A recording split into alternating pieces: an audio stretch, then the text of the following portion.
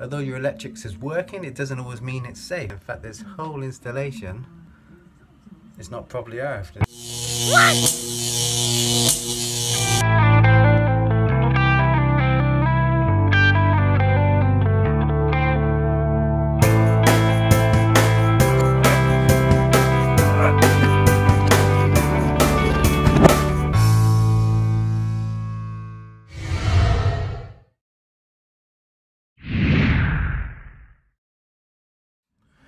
Okay, this is Sparky Dave uh, reporting in on a job I'm doing today. I'm doing a, uh, an electrical installation report and then a fuse board change because I don't know if you can see this board behind me.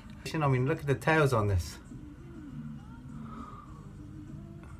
It's like a five-tail pony. Developments, this is an interesting one. Now I want to get a, a ZE, an external earth fault loop path back. I've disconnected the, uh, the main earth and I've clamped on my lead. Set my tester to uh, loop impedance. We come on the tails.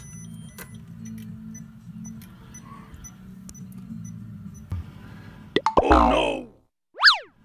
So why do you think that is guys? Let's take a little closer look. Circuits are disconnected, I'm on the main earth. But if you follow this main earth down, it comes down into this block where they've then earthed what used to be the Economy 7 heating circuits, which are going to be coming out.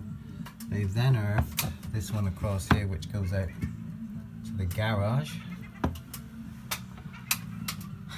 Uh, which is great, except for there's one problem. If you look under here, I don't know if you can see you'll pick this up.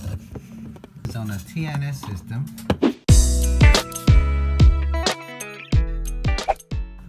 This may not be able to pick it up. This is the braided earth terminal there. And guess what? There's nothing connected to it. So this whole earth block is on a ghost earthing system. There's nothing, there's nothing actually connecting to it. So this whole system is not properly earthed. What? There you go. Food for thought.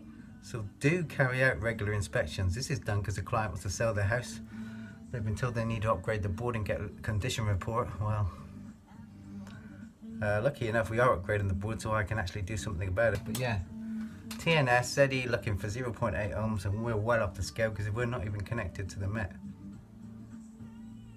There you go. Food for thought. The discoveries we find as electricians. Sparky Dave, bringing you another informative video. Time for some tool form.